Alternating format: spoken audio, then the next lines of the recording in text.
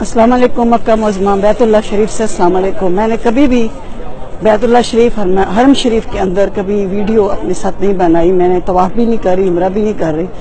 میں صرف اس لیے یہ بنا رہی ہوں کہ میں آپ لوگ میرے ساتھ اس دعا میں شامل ہوں۔ پاکستان کے لیے دعا، جو میں رو رو کے دعا کر رہی ہوں کہ یا اللہ، پاکستان کو لوٹنے والے جو بھی ہیں، تو جانتا ہے۔ پاکستان کو لوٹنے والے، پاکستان کو کھانے والے کرپشن کرنے والے اس نظام کا بیڑا غرق کرنے والے اس ملک کو اپنے باپ کی جاگیر سمجھنے والے۔ جتنے بھی اداروں میں جتنے لوگ ہیں وہ اوپر سے لے کے نیچے اور نیچے سے لے کے اوپر تک یا اللہ ان کو اتنی عبرت ناک سزا دے کہ آئندہ کے بعد پاکستان کو اپنے باپ کی جاگیر کوئی نہ سمجھے۔ اور یا بلعزت تو جس کو پاکستان کے لیے بہتر سمجھتا تو اس کو ہمارے اس, اس کو ہمارا حکمران پاکستان کا بنا۔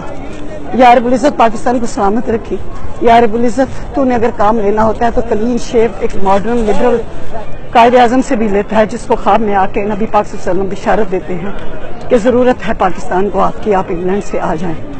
ضروری نہیں کہ یہ جو گندی گندی گالیاں اور گندے گندے بیان دینے والے مولوی ہیں، علماء ہیں، انہوں نے آپ کے پاکستان میں اسلام نافذ کرنا ہے۔ اسلام تو دلوں میں ہے۔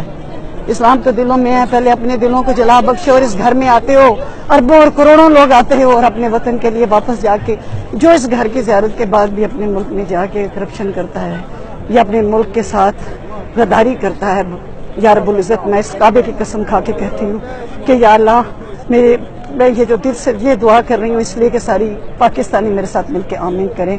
وہ کیفر کردار تک ان کو پہنچا اور جس کو تو ہمارے لیے بہتر سمجھتا، اسے ہمارا حکمران بنا۔ آمین سما آمین۔